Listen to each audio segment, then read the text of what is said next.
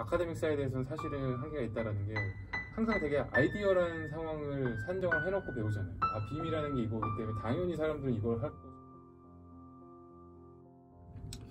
그래서 뭐 계속 다른 질문들을 좀 간단하게 보면 대부분의 이제 질문들이 그런 거죠 아무래도 그러니까 모르겠어요 그 이런 경험이나 지식 혹은 이렇게 일하시는 분들이 바쁘기도 바쁘고 시간을 쪼개가지고 그런 거를 한다는 게 이제 쉽지는 않으니까 다들 바쁘잖아요.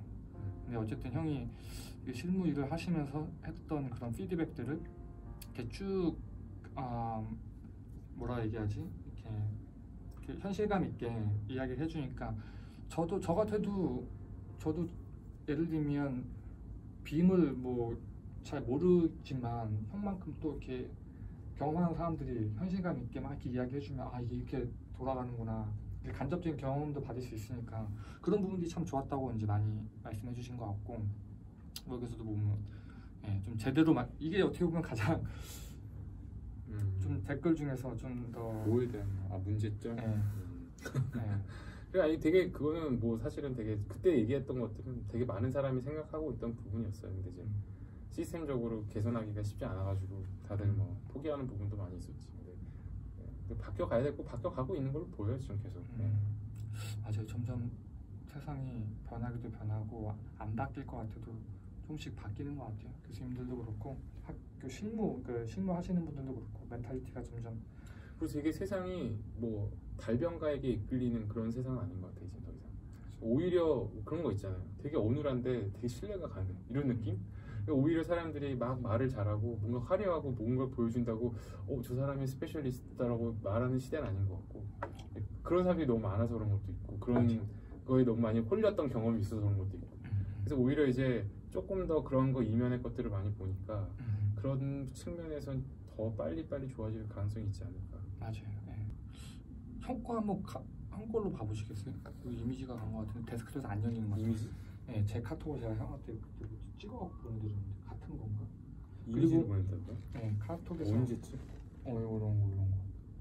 아 아까 이거 봤던 아까 거, 이거 아까 이거 본 거. 봤던 것도. 네, 이거는 제가 페이스북에서 이분 이분이 예, 이분 같은 경우는 질문 많이 주시고 네, 이- 이분 이분 말하는 게 맞는 어떻게 보면 그거예요.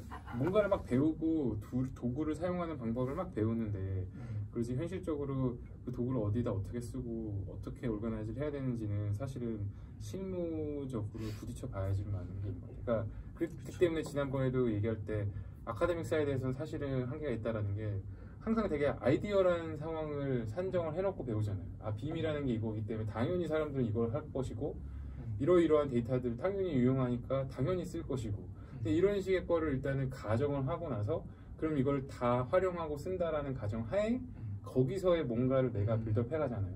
근데 현실에서는 사실 없는 완벽한 세상. 그치 현실에 그치 그치 현실에서는 그렇게 pure하게 모두 다가 어린 왕자 같지 않거든. 그러니까 이제 그 안에서 결국은 어떻게든 왁구를 껴맞춰야 되는 상황들이 생기니까 음, 아마 그런 포인트에서 말씀해 주신 것처럼 소프트웨어를 배우는 것들 이런 것들은 당연히 이게 어떻게 보면 기능적인 거고 이제 그거를 현실적으로 어떻게 여기다가 이제 속된 말로 팔아 먹어야 될지는 그리고 이제 네. 아, 뭐 technical한 부분들을 이제 이야기해 주시는 분들 많이 있죠. 가령 뭐 Revit이나 뭐 CATIA를 이야기해 네, 주시는 네, 분들. 근데 좀 더 저도 사실 유튜브를 하면서 생각했던 것 중에 하나가 뭐 여기저기서 뭐 코딩도 하고 parametric도 이야기하고 그리고 뭐 Rhino Grasshopper라든지 뭐 Dynamo 이런 거 네. 얘기하는데 그 뒷단에서 왜 돌고 그걸 어떻게 해야 되는지에 대한 이야기를 하려면 그거에 대한 경험이 좀 어느 정도 있고 형이 말씀하신 것처럼 실무에서 이렇게 하다가 부딪혀 보면서 아, 이게 이래서 이렇게 되는 거구나라는 그런 피드백도 어느 정도 있어야 되잖아요. 그래서 근데 그럼에도 불구하고 이제 그런 이제 목소리 별로 없기 때문에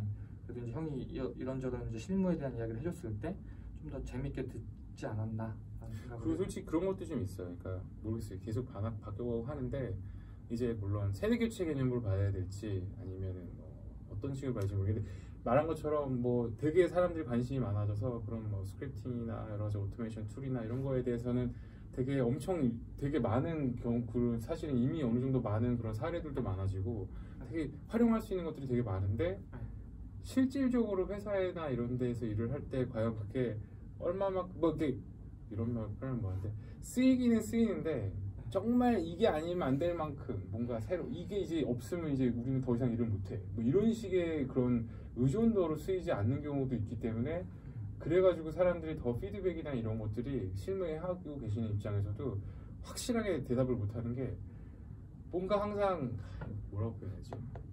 그러니까 검 정말 클리어하게 이게 어떤 식으로 검증이 되고 어떤 식의 그 리뷰가 오고 이것들을 되게 주관적으로 생각할 수밖에 없는 환경들이 좀 많아요. 지금 말이 복잡해졌는데, 그러니까 이 내가 뭘 아이폰 뭐 11, 10을 만들었어. 이거에 대해서 한계점들이 생기고 이런 것들은 내가 정말 클리어하잖아요. 고쳐야 할 부분이라고 딱 나한테 테이블에 놓여지잖아요. 음. 그럼 이제 다음 단계로 확 가는 게 있고. 근데 그 말인즉슨 이게 고쳐야 지어야지만 되는 당위성이 있잖아요. 왜냐면 뭐 그걸 어떻게 그 문제점을 다르게 뭐 커버할 수 있는 방법이 없으니까.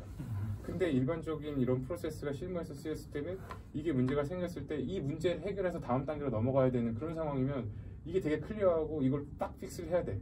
근데 이게 문제가 생겼어? 그러면 또 다른 방법을 써. 근데 그 다른 방법이 이거의 develop과는 전혀 당, 상관없는 식의 방법으로 그걸 예를 들어 뭐 땜질을 하든 뭐라도 한단 말. 음. 그렇게 되면 내가 이걸 계속 develop해서 완- 더 완벽하게 만들고 싶은데 정확한 피드백이 오는 게 아니라 여기서는 되게 그냥 어 그럼 뭐 문제 생겼어? 알았어? 그리고 뭐 이거에 대한 뭐 주지 않아. 그리고 그냥 다른 방법을 해서 넘겨. 그러면 개인적으로 봤을 때 내가 이 프로세스를 모두 다가 아는 나도 마스터야. 만약에 developer 입장이라고 하면 경험 있는 developer면 아 그게 무슨 문제고 그게 향후에 어떤 식으로 더 되면 좋겠다라는 걸 내가 알니까 음. 그 다음 방 그걸 develop을 해서 그 다음 뭐 term이나 아니면 다음 방향에서 야 이거는 더 이런 부분 해결됐어. 음. 이러면 이제 또 거기서 또 시작이에요. 그러니까 그런 피드백을 받기가 되게 쉽지가 않은 것 같아요. 그러니까 항상 좋게만 보일 수도 있고 음. 항상 나쁘게만 보일 수도 있는 양날의 검인 것 같아요. 음. 그럴 수 있을 것 같아요. 네.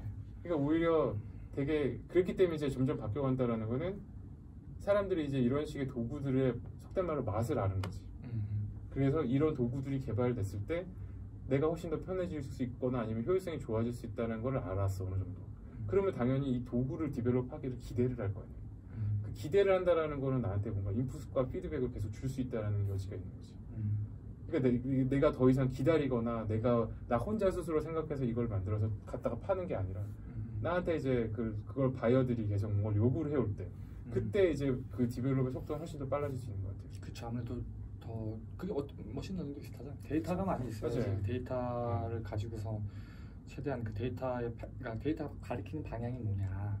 그래서 이제 develop 할 때도 좀 방향이 되게 중요하니까 그런 것 같아요. 피드백이 좀 있고 그 다음에 그만한 데이터들이 쌓인다는 거는 그만큼 많은 사람들이 또 그걸 활동적으로 하고 그러면 산업 자체가 계속 변하는 거니까 되게 좋은 것 같아요. 그러니까 이런 그 뭐 BIM도 그렇고 computation도 그렇고 어떤 새로운 그 건축업이 굉장히 보수적이잖아요.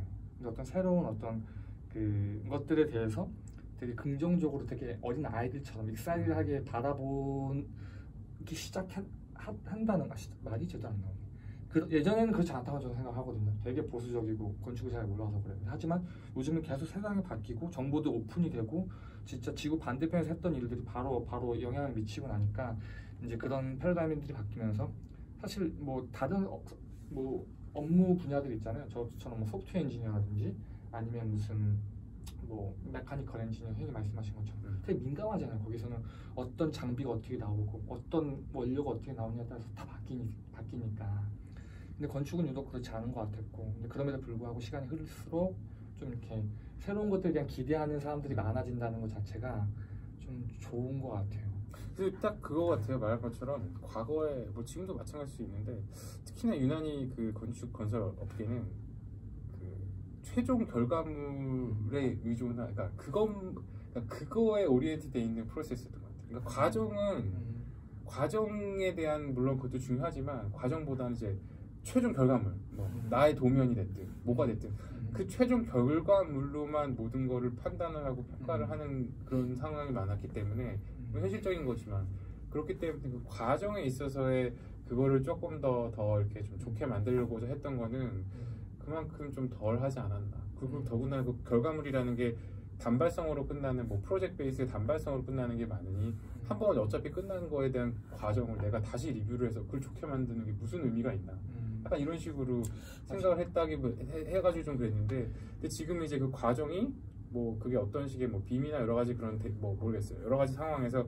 재활용될 수 있는 그런 플랫폼으로 그러니까 활용되는 그게 그게, 사람들이 어느 정도 인식이 되니까 음. 그 과정에도 이제 더 점점 관심을 갖게 되는 그, 거죠. 그게 사실 비용 절감이고 그렇죠. 사실 그 파이프라인을 어떻게 개선하느냐에 따라서 quality라든지 이 모든 것들이 싹다 바뀔 수가 있는 거거든요.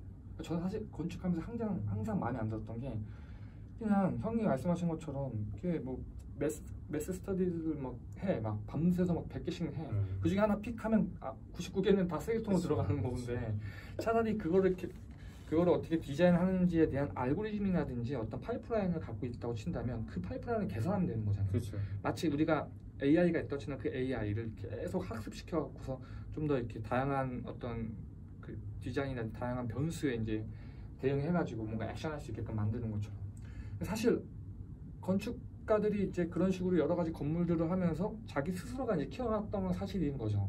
그래서 사실은 그거야. 그러니까 뭐 건축가들 중에 어 그 사람 건축 스타일, 이 네, 스타일이라고 중요한 말하면. 네. 말한 것처럼 자기가 이렇게 여러 번의 건축 그런 프로세스를 통해서 네, 네. 자기도 그, 그 프로젝트를 진행해가는, 그러니까 물론 그걸 막 logic화하진 않았지 모르지만 네, 스스로 생각한 로직이 있을 거예요. 그러니까 내가 생각하는 디자인의 방향과 네. 방법들. 네, 네. 그러니까 그것들을 말한 것처럼 어느 정도 이렇게 좀 tool화 시킬 수 있는 게 clear하게 되면 되게 도움이 많이 도움도 됐어요. 많이 되고 그 나는 하루에 24시간 이상 일을 못 하잖아요. 그렇잖아요. 그렇죠. 그 느리잖아요, 우리는. 그 남주 씨딱 말하는 것처럼 프로그램이 있으면 그거를 솔브하는 그 그거를 만든다라는 개념이 건축도 마찬가지로 그런 식으로 자기가 디자인의 어떤 하나의 걸 만들면 무슨 프로젝트에 오든 그거에 대해서 내가 이거를 그걸 해결할 수 있는 난 여기에 관심을 두면 차라리 Quality도 좋고 어떻게 보면 자기의 어떤 그 모르겠어요 그 스타일이라고 표현해야 될지 모르지만 그런 거를 훨씬 더 해결 해결하기 아니라 일관되게 자기의 생각을 담아낼 수 있는 어떤 하나의 과정이 될 수 있을 것 같아요. 굳이 뭐 이렇게 얘기하고 싶진 않지만 어쨌든 computational design이 약간 그런 식의 무게 중심을 둔다고 한다면 이제 어떻게 보면 BIM 같은 케이스는 그런 무게 중심 혹은 그런 문제들을 그때그때 배열하고 어떻게 보면 더 어, 이렇게 살을 붙이는 개념이죠. 전체적으로 이렇게 현실화할 때 필요한 네, managing 있는 그딱 그런 거예요. 모든 사람들도 박스를 만들고 나는 박스를 잘라가는 식으로 항상 디자인을 해. 뭐 예를 들면 뭐 엣지를 짜든 cut하든 뭐든. 그러면 이게 자기가 자기는 항상 이런 식으로 뭔가를 시작을 해.